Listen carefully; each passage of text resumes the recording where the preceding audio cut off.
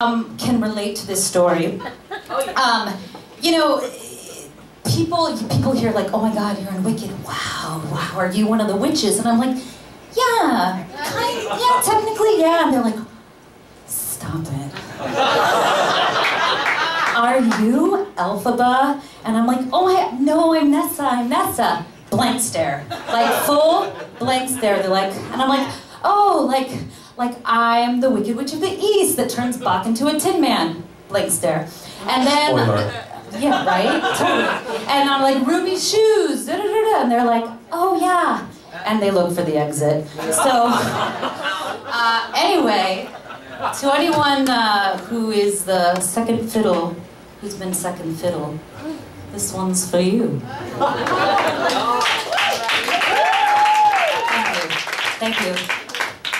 Stephen wrote a Broadway show, technically secondhand, a novel that we all now know created super fans. In the book, just like the show, Nessa was outshone. A second fiddle sister breeds a love-stricken psycho. It's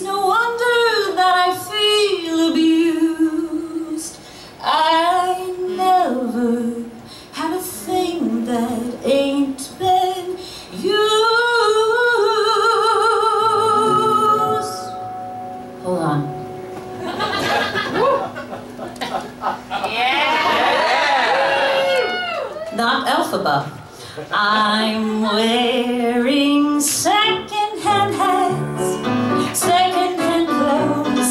That's why they call me Nessa Rose. Even with my plights and protestations, I'm left alone with my infatuations.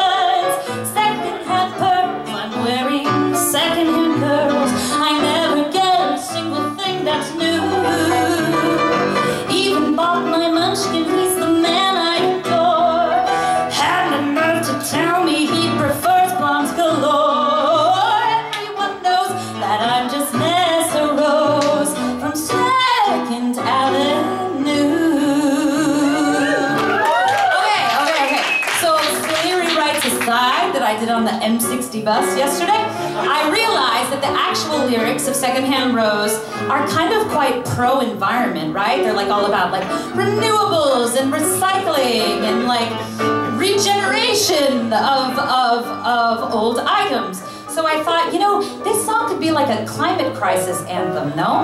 Like, so, so I want to invoke the mindful advocacy of Elphaba right now, and I want us to take the lyrics. I put some of them on the on the table for you, the original lyrics of Secondhand Rose, and I want to celebrate recycling, repurposing, and love. So